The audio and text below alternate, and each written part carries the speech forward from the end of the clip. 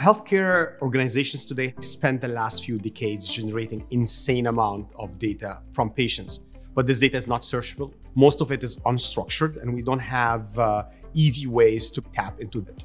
Most of the data that we're leveraging is from certain race, certain geographies, certain demographics, and we want to change that. Mendel's mission is to unravel the truth from patient data at scale. We are the frontier of research around reasoning and specifically in the domain of medicine. We want to mimic the cognitive abilities of a physician through a machine. That's the holy grail of AI in medicine today. When you are a startup, you want to work with startup speed rather than with a big tech speed. And uh, we got that with AWS. AWS has offered the right infrastructure for us to do rapid and scaled experimentation and even financial support to back the experiment. You feel like they are an extension of your team. They are invested in your success. The other big thing is technology. They have the latest and the best.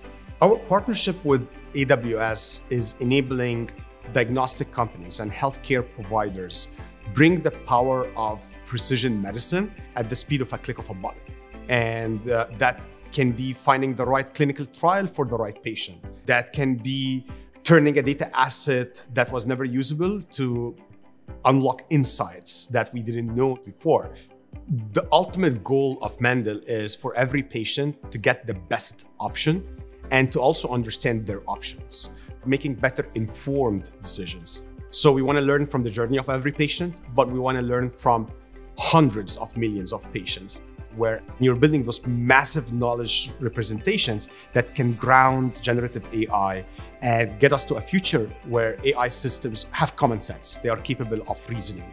When companies like AWS comes in with startups like Mendel, that future becomes today rather than a decade or two from now.